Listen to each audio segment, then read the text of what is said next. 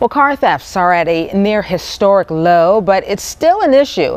We should all take precautions. But the Fox 5 I-Team's Dana Fowle says which cars thieves are targeting might surprise you. Not the latest high-end models that we're talking about, right, Dana? No, absolutely not at all. In fact, the National Insurance Crime Bureau says it's an older model car because number one, there are so many of these on the road. Number two, it doesn't have the latest anti-theft technology mm. on it. Well, no surprise here. It's a Honda a Civic, still no surprise, but more specifically, it's the 1998 Honda Civic. They're still on the used car market. They're still running. And according to NICB, they're stolen mainly for parts. I found one online with 144,000 miles on it. It's more than 20 years old and it's still fetching more than $2,300. Yes. So here, let's take a look at some of the Hot Wheels that thieves like to take. Again, number one is the 1998 Honda Civic. Right behind it, there's another Honda. It's the 97 Accord.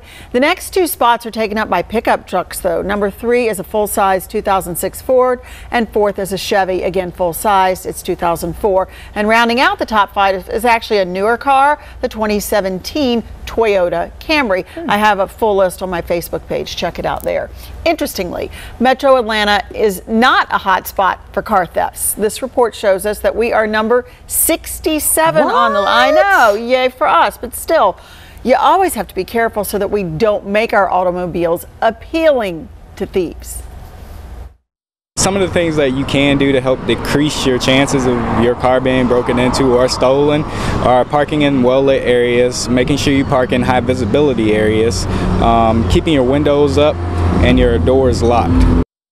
Now, I know that all sounds like common sense, but mm -hmm. listen to this. NICB data shows one of the big reasons your car is chosen over another one is you leave your keys in the car. Stop it. Your fobs right there in the vehicle. no. In fact, in 2016, they saw the numbers of people leaving the keys in the car up 22%. So don't leave your keys in the car. Oh my! How about that? It seems like common sense when we say this over and over and over again. When I was growing up, we kept our keys in the car. I mean, because we had three daughters and we were rotating cars, and my dad said leave the keys in the car because they yeah. would always get lost. But I lived out in the country, and you left your keys in the car. Times are a changing. Right.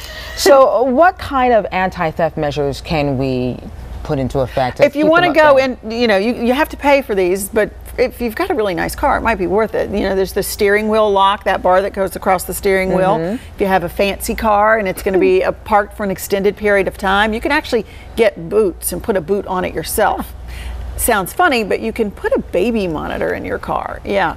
There are also electronic tracking devices and something called a kill switch, which stops the electricity from getting to the fuel pump. I, I don't have a car like that, but um, if you did, might as well. I would probably it. just use a baby monitor. I love that baby I know. Just check on your yeah. car. Keep the thieves at bay.